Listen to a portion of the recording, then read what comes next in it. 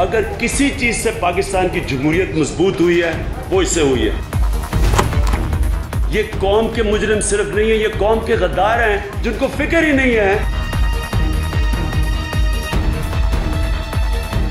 अदालत उजमा के बड़े फैसले के बाद खिलाड़ियों के कप्तान खुशी से निहाल दिखाई दिए और एक भरपूर प्रेस कॉन्फ्रेंस में इतवार को परेड ग्राउंड में बड़े जलसे और योम तशक्र मनाने का ऐलान कर दिया। मैं जितने भी 21 साल से जो मेरे साथ लोग निकले थे 21 साल से जो इतनी लंबी रेस थी जो पीछे रह गए थक गए मैं आज सारों को दावत देना चाहता हूँ कि इन संडे को परेड ग्राउंड पे हम अल्लाह का शुक्र अदा करने के लिए एक बहुत बड़ा एक जलसा करेंगे। योम तशक्र करेंगे संडे को परेड ग्राउंड में मग पाँच बजे। इमरान खान ने वाजिया किया कि इनकी नवाज़ शरीफ से कोई जाती दुश्मनी नहीं वो इन्हें चालीस बरसों से जानते हैं। मेरी और नवाज़ शरीफ की लड़ाई नहीं थी।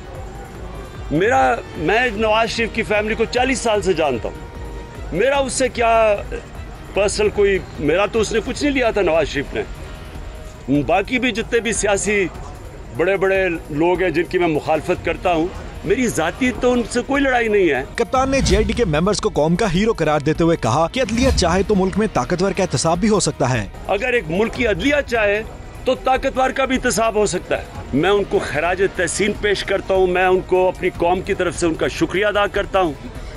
मैं जे के मेंबर्स का मैं कहता हूँ आप कौम के हीरो हैं। आपने इस हमें उम्मीद दे दी पाकिस्तान के लिए। इमरान खान शरीफ खानदान के अरबों के महलात का ज़िक्र करना ना भूले और कहा मुल्क को छोटे चोरों ने नहीं बड़े चोरों ने लूटा है। बड़े बड़े डाकू जिनको एक एक घर छह छह करोड़ छह छह अरब रुपए का एक एक घर है। साढ़े छह सौ करोड़ रुपए का एक घर है।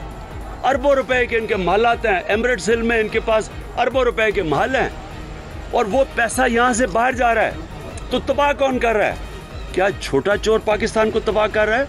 या ये बड़े डाकू कर रहे हैं? कप्तान ने वाजह किया कि पनामा केस में तवील जदोजहद के बाद कामयाबी मिली, जिस पर वो अल्लाह के शुक्रगुजार हैं। कौमें जंगों और जलजलों से नहीं, बल्कि इस वक्त तबाह होती हैं जब मुल्क में इंसाफ न हो।